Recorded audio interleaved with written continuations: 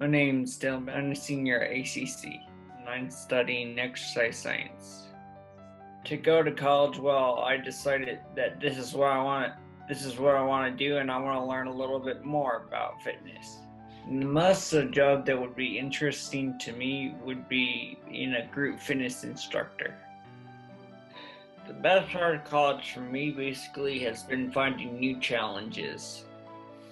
I get more respect out of the Elevate program than versus when I went to this day program, and I have a more sense of freedom.